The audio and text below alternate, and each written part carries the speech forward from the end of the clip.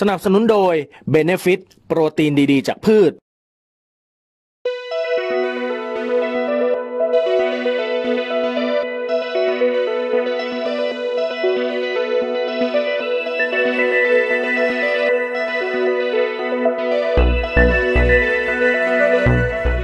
มีความน่ารักมาเสิร์ฟให้แฟนคลับได้ใจฟูกันเป็นประจำสำหรับเวียสุกลวัฒน์และวิกกี้ หลังจากที่ทั้งคู่มีโซ่ทองคล้องใจอย่างน้องวิริน ลูกสาวคนแรกที่มาเติมเต็มชีวิตครอบครัวให้สมบูรณ์